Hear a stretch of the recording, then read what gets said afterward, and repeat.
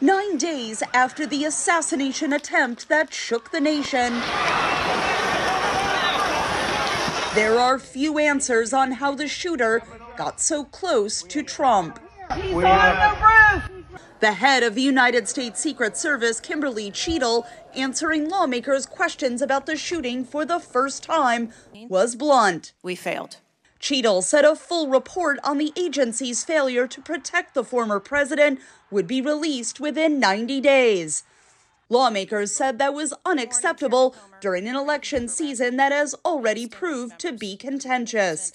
Some called on her to resign. The Secret Service has a zero fail mission, but it failed on July 13th and in the days leading up to the rally.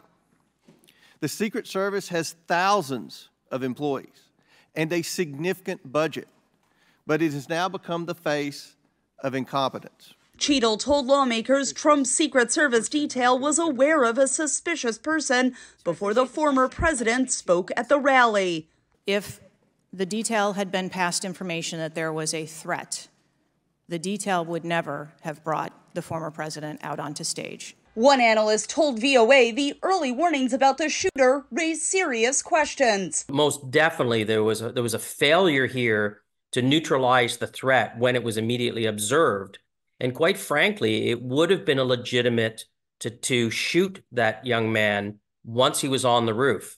It would have been a legitimate shooting, a legal shooting. So I, I I don't know why there was hesitation. Congressional Democrats called for changes to gun laws in the United States, saying it was unfortunate that former President Trump is now one of many victims of gun violence. We almost lost a presidential candidate the other day.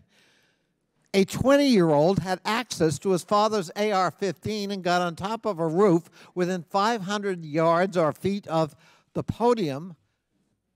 And I'm asking you, did the availability of that AR-15, which is replicated all across America, make your job harder or easier, and you're not willing to answer that question? The Federal Bureau of Investigation has still not determined a motive for the actions of Thomas Matthew Crooks, the suspected shooter. Katherine Gypson, VOA News.